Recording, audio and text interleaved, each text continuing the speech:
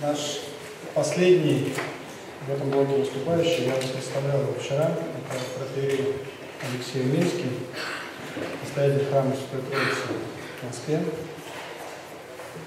И э, в том числе руководитель, ну, довольно известный телеведущий, автор очень многих книг. Некоторые из этих книг, кстати говоря, прям у нас здесь вот можно посмотреть. И э, плюс к этому отец Алексей является еще и духовником э, Свято-Владимировской православной гимназии в. Дорогие друзья и коллеги, еще раз здравствуйте. Сегодня я хотел бы поговорить может быть, даже немножечко порассуждать на такие чисто педагогические христианские, темы христианской педагогики. Ребенок в семье христианской и ребенок в церкви. А почему, мне кажется, это важно? Ну, потому что, в общем, в основном собравшиеся здесь, и я, мы, э, в общем, христиане, э, родившиеся как христиане совсем недавно. И не имеющие за своей спиной долгой христианской семейной и церковной традиции. Поэтому обращение к традиции для нас – это всегда обращение к совершенно чужому и неизвестному нам опыту. И обращение к традиции воспитания детей в церкви, обращение к традиции воспитания детей в христианской семье для каждого из нас – это не наш э, опыт, который мы видели, скажем, в лице своих собственных родителей, своих собственных бабушек и дедушек. Поэтому нам приходится очень и очень тяжело. Нам приходится ну, с одной стороны, что-то придумывать время, с другой стороны, а искать ответы на вопросы, которые возникают перед нами ежедневно.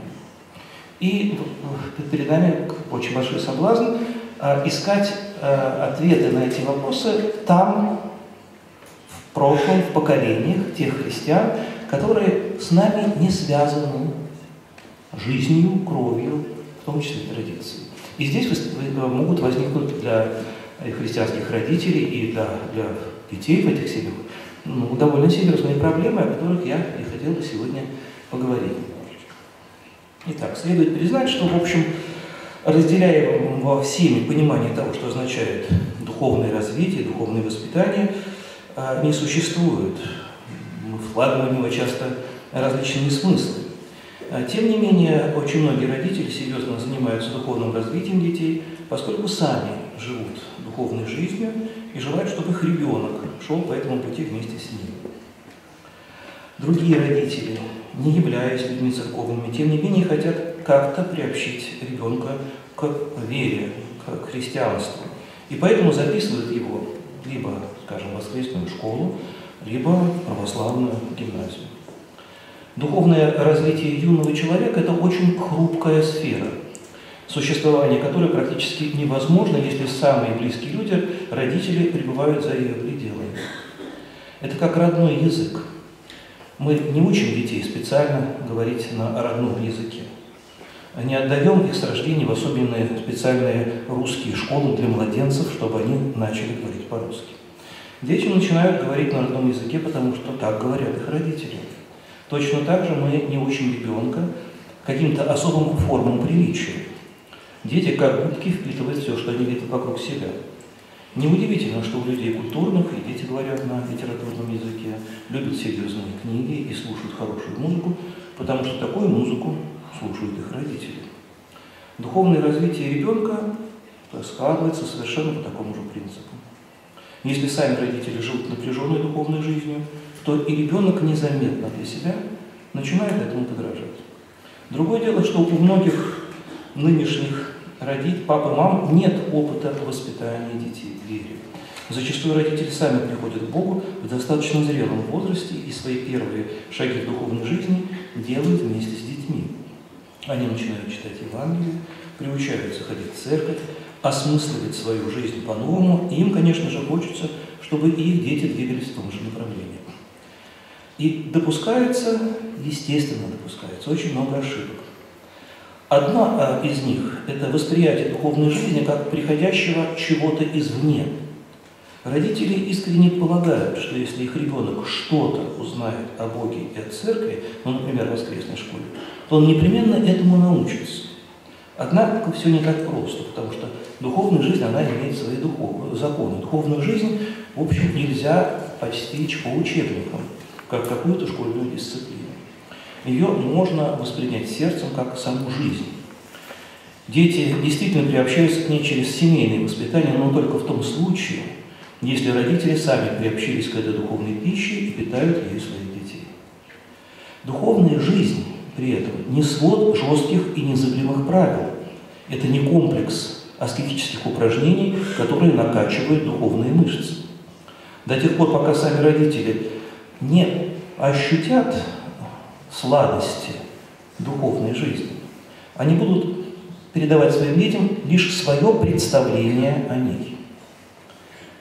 Тогда не стоит удивляться, что поначалу ребенок будет воспринимать молитвы, походы в храм только как занятную ролевую игру. А потом, со временем, это ему надоест. Для ребенка гораздо важнее вещи содержательные. Например, он должен понимать, что такое молитва, понимать смысл богослужения таинств, осознавать, что такое связь человека и Бога. И ребенку на его уровне какая-то вот эта вот вещь, вот, вот эти вещи могут быть доступны.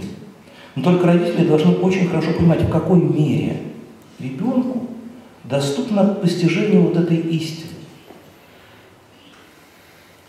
Если ребенок идет к причастию, то того момента, когда ребенок начинает разговаривать и общаться с родителями, он должен хоть что-то понимать, когда он принимает святое таинство. А все, э, э, все это призвано, конечно, делать родители. А значит, они должны это сами знать и поделиться своим знанием с малышом, исходя из его опыта восприятия. Ну, мы же не цитируем, скажем, уголовный кодекс, когда хотим объяснить ребенку, что такое хорошо, что такое плохо. Другим языком на другом уровне. То же самое правило, применимое к духовной жизни.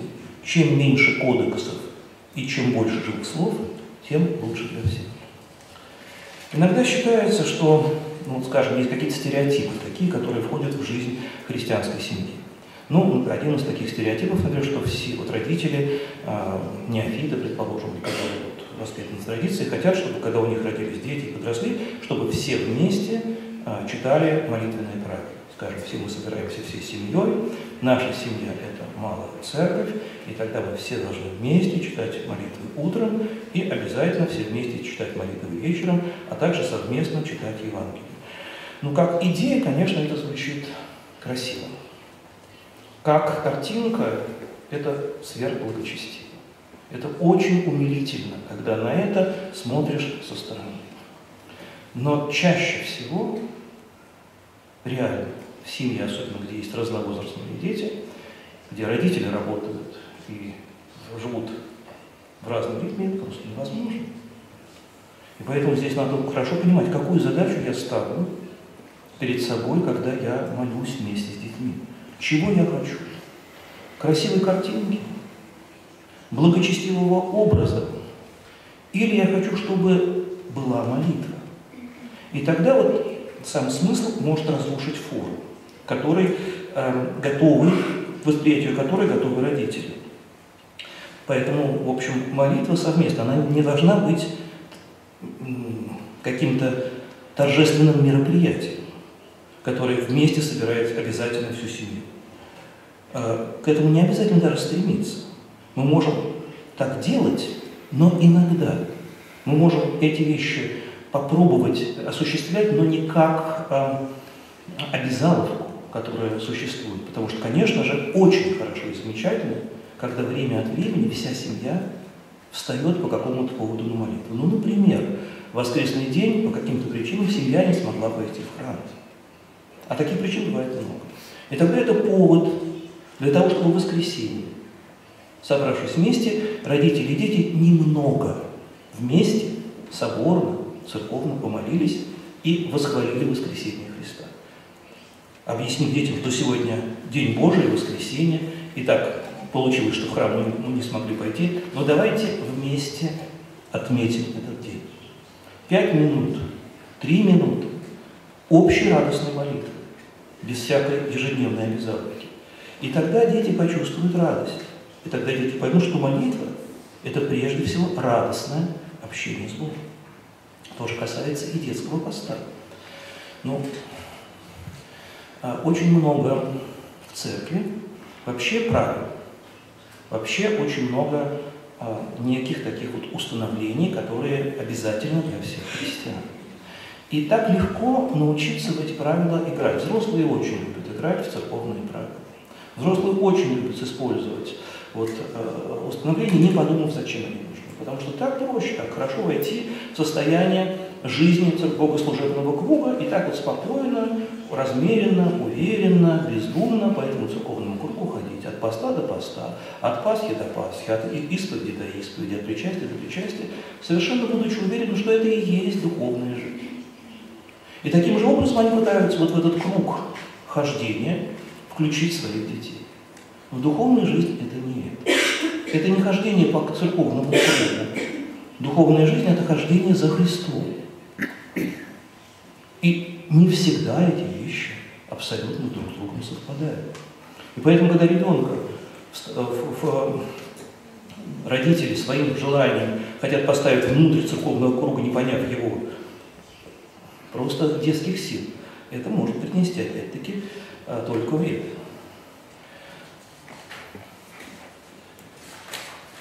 Есть а, очень важная вещь. Бывает так, что, ну и так, к сожалению, бывает часто, что очень многие семьи живут пока еще не любовью, а таким вот представлением о ней.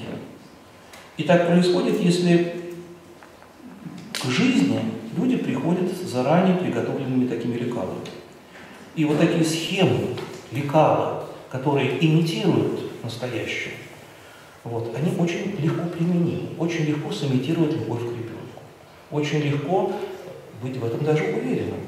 Бывает, а, что вот к формированию таких схем приводит благое желание жить по всем выверенным канонам, о котором я уже сказал. Однако даже самая благочестивая литература и самые добрые примеры в данном случае могут оказаться плохими помощниками. То есть, ну, например, если родители прочитали, э, как воспитывали преподобного Сергия Радонежского, и, и начинают применять это как руководство к действию, вот, то э, можете себе представить, что может случиться с нашим ребенком. С другой стороны, есть всегда оправдание для тех детей, которые плохо учатся. Ну, преподобный Сергий до какого-то времени плохо читал. И, в общем, тогда в благочестивой христианской семье это тоже может быть нормально. И вместо того, чтобы с ребенком заниматься и развивать его э, как ученика, ну, тут просто можно помолиться преподобному Сергию, например, так, заказать водосвятный молитвы. Вот. И родители при этом совершенно не задаются вопросами, а, что у них существуют дети с э, неповторимыми особенностями, а, что они не, не знают даже, в каких нравственных условиях они растут, какие у них интересы, сколько им лет, наконец. И детей начинают а, в христианских семьях такое случается, дрессировать и натаскивать, извините, на святость. Возможно, родители имеют самые прекрасные, добрые желания вырастить своих детей хорошими христианами, хотя подспудно присутствует и стремление показать и другим, что такое настоящая христианская семья. Сами родители никогда в детстве поэтому не жили.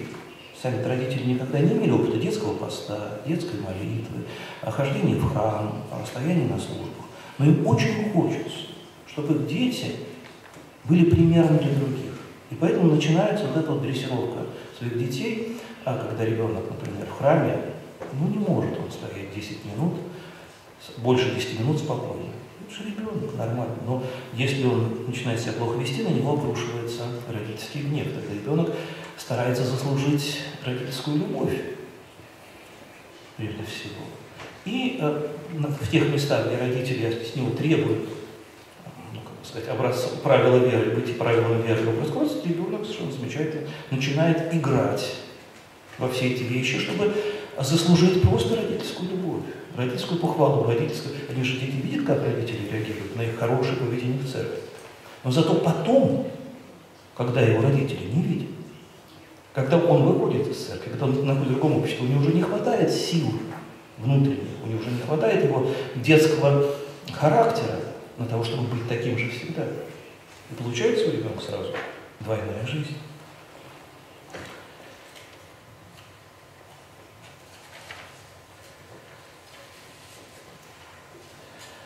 Подростки наши замечательные. Только кажется, что они уже взрослые. И эта иллюзия взрослости э, дает родителям какой-то такой вот они приводятся в состояние непонимания. Вот родители говорят, что ты же уже взрослый, ты уже должен все понимать. Подросток ничего не должен понимать. Более того, это то самое время, когда человек меньше всего понимает самого себя. Но если у него уже пробивается щетинка, предположим, а, а девочка уже, так сказать, э, тайно накрашивает себе губки и ходит на каблучках, родителям кажется, значит, они должны мыслить как родители. Это огромная ошибка. Дети в этот момент а, живут совсем по-другому. Они себя понять не могут. У них все слетает. Все вещи, которые они воспринимали до этого а, совершенно спокойно, без, всякой, без, всякой, а, без всякой рефлексии, без того, чтобы задавать вопросы, вдруг начинают задавать вопросы. А ответов они на них не находят. И это раздражает родителей. И вот этот момент раздражения родителей на своих детей, которые совсем себя понимают, является основным источником конфликта. И здесь это очень надо хорошо как-то почувствовать и понять. Потому что в этот момент э, дети обязательно будут делать ошибки. Потому что они стараются научиться жить самостоятельно. А вот это желание жить самостоятельно вызывает у родителей страшный испуг, с одной стороны, и дикое раздражение. Почему? Потому что ребенок не становится таким, каким ему хочется быть. Родительские амбиции здесь рушатся. Родительские амбиции здесь погибают, потому что тот замечательный ребенок, мальчик или девочка, который до 12 лет, так замечательно себя вот показывали, так хорошо пели в церковном хоре, так замечательно ходили на службу, как все умилялись и говорили, какие у вас дети. Вдруг вот это все прошло, и родителям уже больше нет возможности тебе себя хвалить, и когда говорят, какие у вас дети, значит, какие вы родители прекрасные. И тут все кончилось. И тут кончаются родительские амбиции. И тут родительская гордыня терпит ужасающий фиаско. А дети остаются детьми, от которых отворачиваются в этот момент родители, потому что дети не удовлетворяют их родительских амбиций. Почему мой ребенок перестал ходить в храм? Почему мой ребенок не хочет больше читать утренних молитв? Почему мой ребенок не идет на исповедь? А какая катастрофа? Это не катастрофа. Это просто к этому надо отнестись понимаемо. Так, так, так может быть. Так чаще всего и бывает. Потому что те игры, которые ребенок играл ради родительских амбиций, кончаются. Он хочет увидеть в родителях настоящее. Настоящие ответы на настоящие вопросы, которых родители не имеют. Почему? Потому что они их никогда не задавали. Им было спокойно вот в этом церковном круге. Им было комфортно вот в этом церковном круге, где на все вопросы уже даны ответы. Где все понятно. Где так удобно быть христианином. Где так спокойно вот в этом вот замечательном, прекрасном церковном круге, который один и тот же, от поста до поста, как все это было почестиво, как это хорошо, как это приятно вообще исповедоваться. Взяли так, тебе грехи прости. Как это замечательно причащаться. Конечно же, ты же получаешь божественную благодать. И у тебя уже нет вопросов. Раз ты уже христианин и делаешь все так, как тебе сказала церковь, у тебя не может быть вопросов. И вот они начинаются. Потому что сразу возникает вопрос, а зачем мне причащаться? Говорит ребенок в 13 лет. А зачем мне исповедоваться? А почему я должен ходить в церковь? А почему я должен молиться? И эти вопросы никогда родители по-настоящему, глубоко, серьезно, экзистенциально не задавали себе самим. Потому что церковь всегда воспринималась ими, прежде всего, как место, где тебе будет еще лучше. У тебя есть жизнь, у тебя есть что-то такое хорошее, замечательное, а церковь, она все время, вот твое качество жизни, она улучшает. Вот ты приходишь там плохим в церковь, возвращаешься хорошим. Ты приходишь бессильным, возвращаешься более-менее ничего. А если что-то непонятно, ты берешь книжку, где написано там «Вопросы батюшки». И среди тысяч вопросов находишь тот, который более-менее, более, а, понятно, значит, надо поступать вот так. Хотя этот вопрос был задан совсем другим человеком, и ответ на него получил, наверное, кто-то другой. Вот. И это ужасная вещь, потому что дети начинают задавать вот эти серьезнейшие вопросы, которые начинают раздражать родителей. И вместо того, чтобы родители вместе с ними часто учились честно на них отвечать, или, по крайней мере, приняли вот эту форму отношений, как возможную форму отношений родителей и детей,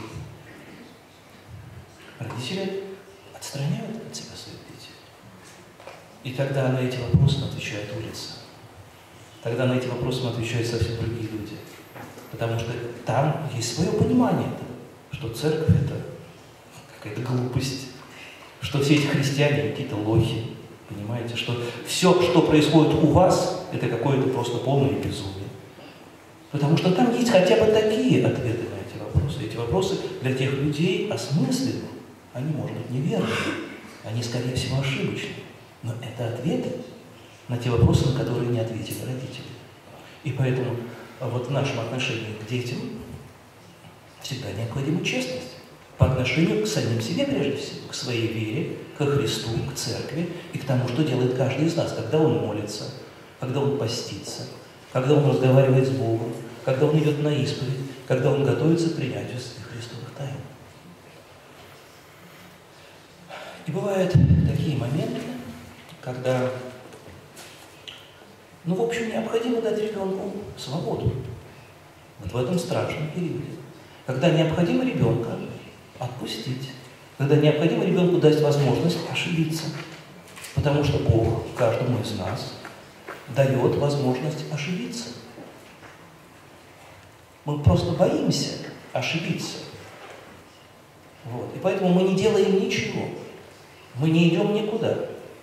Мы не живем только из-за того, что мы боимся ошибиться. Для нас ошибка это значит двойка. А ведь у нас с Богом другие отношения. Бог не боится, когда мы ошибаемся. Он знает, что мы будем ошибаться. Он дает нам возможность ошибаться. Но только вспомните ту притчу о талантах. Когда Господь раздает таланты, трем своим слугам господин. Это значит, что он дает деньги для того, чтобы эти люди рискнули, вложив эти деньги, принесли какую-то прибыль. И каждый из них мог ошибиться. И каждый из них мог эти деньги потерять. И каждый из них мог нанести ущерб своему господину. И только один не ошибся. Потому что он эти деньги закопал. Нет даже возможности ошибиться. Я тебе отдаю то, что ты мне дал. Потому что ты человек жестокий. Ты ставишь двойки. Вы понимаете? А ведь у всех остальных была огромная возможность риска, ошибки, потери. При этом Бог идет на это доверие человеку. И в этом смысле мы должны быть мужественными по отношению к своим собственным детям, вырастающим. Им нужна свобода, их надо отпускать. Им надо давать в том числе это пространство для ошибки. Потому что ошибка – это не конец. Ошибка – это часто переосмысление того ложного и наносного, что тебя к этой ошибке привело. И очень важно бывает тогда, когда человек, поняв свою ошибку, вдруг приобретает цельность э, смысла, вдруг находит через это осмысление самого себя и своей веры. И поэтому это даже не так страшно, когда дети делают ошибки. Потому что если в нормальной христианской, нормальной, живой, я имею в виду, семье, ребенка заложены какие-то глубокие вещи настоящей живой веры, то не страшно, если ребенок ошибется и даже на какое-то время из церкви может уйти.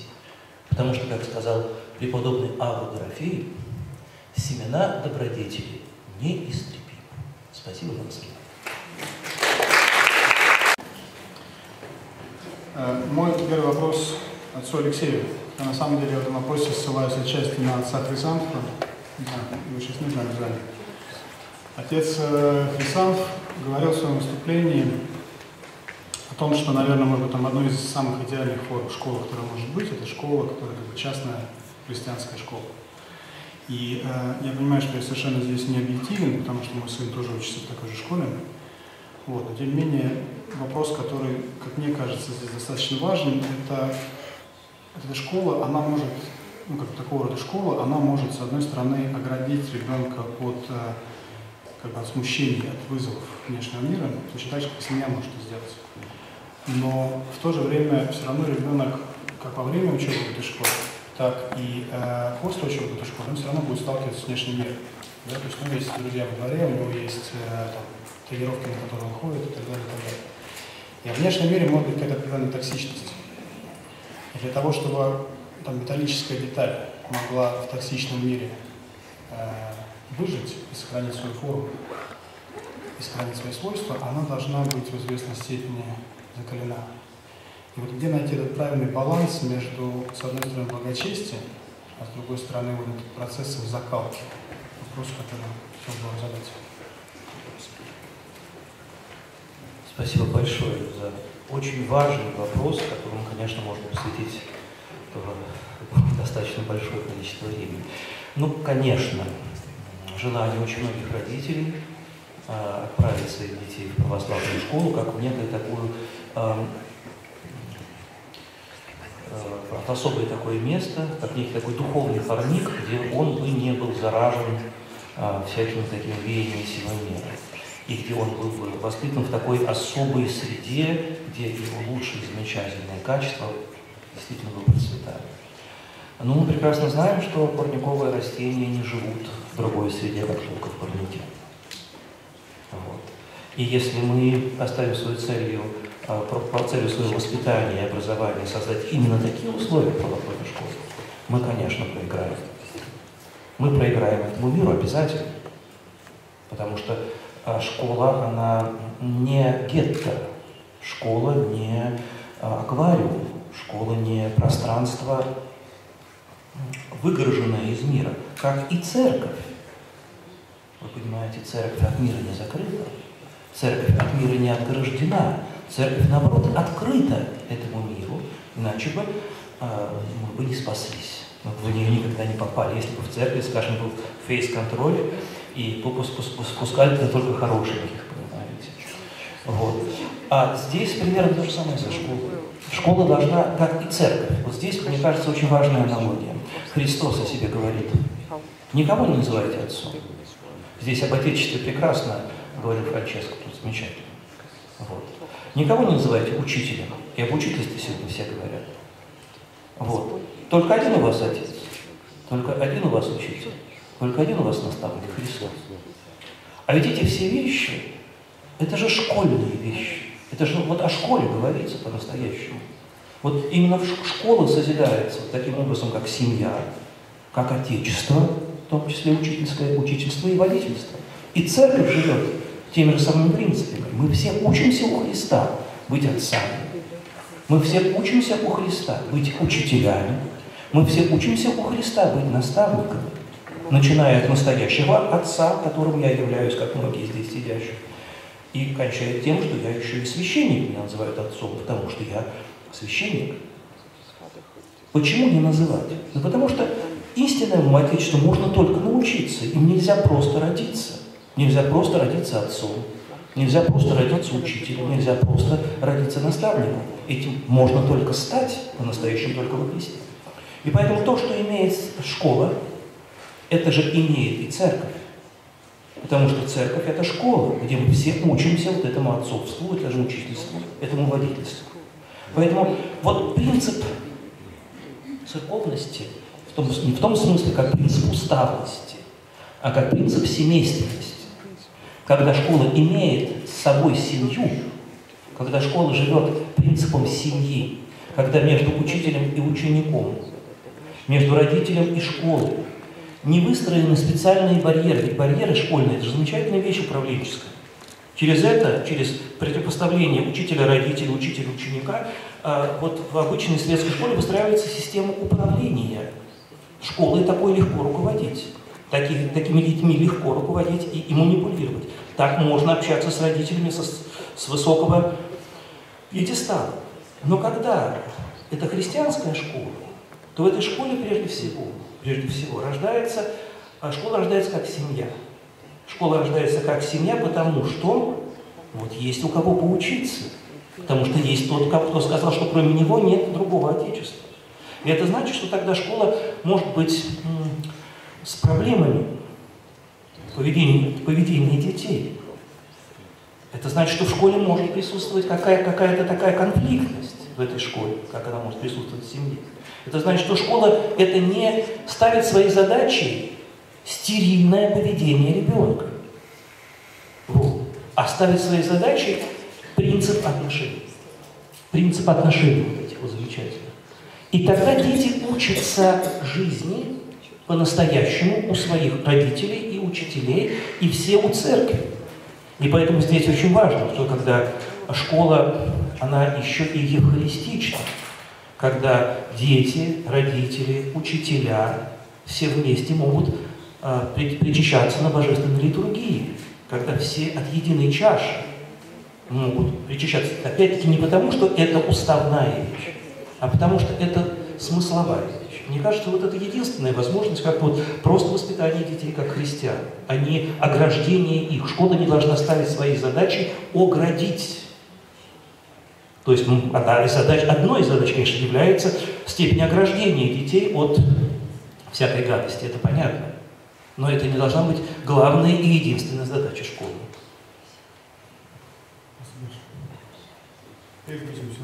Алексей, у нас отец Алексей, большое спасибо вам в своем сообщении напомнили об опасностях, которые подстерегают родителей на их пути и у меня все-таки вопрос э, очень конкретный, который относился бы, наверное, к теме, первоначальной теме вашего выступления.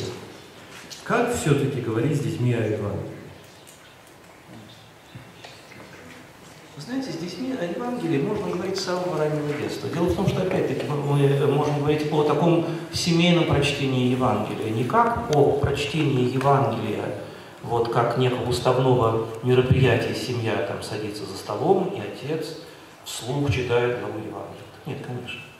Детей э, с, с Евангелием можно знакомить с самого раннего возраста, ну, потому что, ну как, в нормальной семье детям всегда читают перед сном. Обязательно. Ну, если это нормальная семья, то там обязательно детям читают перед сном. Обязательно приходит мама или отец, в течение долго... Вот моим детям, там, они до 17 лет требовали, чтобы читали перед сном. Вот. А, но они при этом в компьютер тоже играли, там, ничего, я не увидел страшного. Вот. А, и а, когда вот есть этот контакт с ребенком через слово, через книгу, через общее переживание, тогда вот в это же чтение перед сном включается небольшой евангельский отрывок очень небольшой, выбранный родителем а, евангельский отрывок. И если там вот в семье там примерно там три ребенка, которые в одной комнате засыпали, то это есть возможность родителя с детьми сразу по этому поводу поговорить. Вот. Это не просто сказка перед сном, а это возможность такого задушевного родительского разговора о Боге. И здесь всегда вот этот разговор о Боге, это не просто чтение Евангелия. А это такая, вы знаете, вот как в Малой Церкви, это такая проповедь после евангельского чтения. То есть не специально придуманная, не специально составленная заранее. Знаете, как священники э, часто пишут там вечерами, там, длинные тетрадки, потом которые зачитывают после чтения Евангелия. Нет, это живое переживание Слова Божия. Потому что у детей не может не быть вопросов. А или у родителей к детям по этому тексту. И вот с этого переживания, общего переживания Евангелия семейного, мне кажется, потом э, э, э, рождается интерес у самого ребенка к чтению Евангелия потом. Вот, так вот, Леша, я по-другому не знаю, как ответить. Вот я из опыта своей семьи просто это говорю, потому что когда а мы так читали Евангелие детям в нашей семье, там, ну вот, э, там, мой старший сын 13 лет уже там апокалипсис прочел так по корочке до корочки, потом там взял руки Ветхий Завет, и вот этот вкус к Слову Божию очень-очень как-то, так сказать, был настоящим, живым. Вот. Ну, я всегда против всех схем. Я не хочу, чтобы мои слова воспринимались исключительно как общие правила для каждого. meie eilsel konverentsipäeval oli juttu sellest, et inimesed on muutunud. kaasaegne inimene on minoorsemates toonides kui veel mõlemad, kui veel mõned põlvkonnad tagasi. kooli tulevad lapsed, kes justkui juba on ristil, aga nad on ise kellegi teise ohvrid. meie kui õpetajate ja ka vanemate küsimus on, et kuidas neil oleks nii palju, kuidas hankida juurde jõudu et kasvada, et nad oleksid armastuse tõttu võimelised minema ristile ja, ja seeläbi oma elu täiuseni viima. kuidas kool saab anda jõudu lapsele, et, et ta oma elu täiuseni viiks, jumalikustumiseni? I'm tempted to say that I think it's always been hard and that um, and that we tend to look at the past which we're not living in um, as if it was in some ways a kind of golden age, and it probably never was. Um,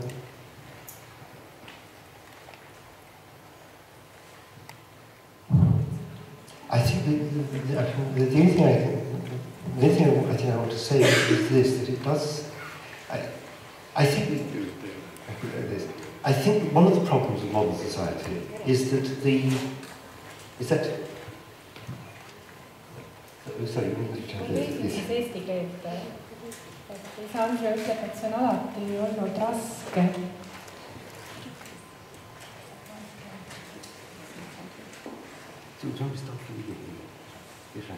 So, um, the first, no, I'm, start, I'm starting again. So, um, what I, my first thought is this, that I think that we always, I think we've always thought that the age that we're living in is the most difficult age to live in. et inimesed on alati mõelnud, et see aeg, milles nemad elavad, on kõige raskem aeg. And we tend to look back to the past um, in rather an idealistic way. Me kaldume vaatama minevikku idealistlikult. But having said that, it doesn't mean that, that, the society that we live in is a society that, well, certainly, hmm, the society that I live in, in England, um, and I suspect the same is true for many parts of the, the West, as it were, is a society that's lost a lot of the structures that, um, how can I put it, structures that gave people a clear message that they were accepted, valued, loved. nii Inglismaa ühiskonnas kui arvatavasti paljudes lääne ühiskondades on kadunud, inimesed on kaotanud need struktuurid, mis andsid inimesele selle tunde, et ta on väärtustatud, armastatud. And I think that we, I've taught for 40 years in university, and that's said to be the other end of the, of the teaching um, from children, but it does seem to me that the the competitiveness that has entered into um, university life has been very destructive of these um, structures of support. Lisandro töötab ülikoolis, et sellest ajast, kus ta lastega töötas, on juba aega möödas, aga talle tundub, et see võistluslikkus on, on just hävitav, neid struktuure hävitav, mis toetaksid inimest. I mean, my experience with um, teaching research students, supervising research students, is that what they really need, often they don't get, and that is um, a sense that what they're doing is worthwhile. So, so the, the, it's easy, one of the things that research students need, and very often don't get from the structures, the competitive structures of the university, is a sense that what they're doing is worthwhile. ja enamasti jääb puudu just sellest ähm, tundest, et see, mida nad teevad, on nagu väärt tegemist üliõpilaste puhul siis. And I, I, I, I suspect that that goes very deep. The, kind of competitive world in which we live nowadays, I think, probably goes right through the education system. Tundub, et see läheb väga sügavalt läbi haridussüsteemi, kogu selline võistluslikkus ühiskonnas. And I think that's something that really we have to either resist or compensate for, because people can't, um, nobody can fulfill their, their true worth unless they feel that they are themselves worthwhile. That they are themselves loved. ja et keegi ei, ei suuda täita seda oma missiooni, oma ülesannet ilma tundmata, et ta on väärtuslik.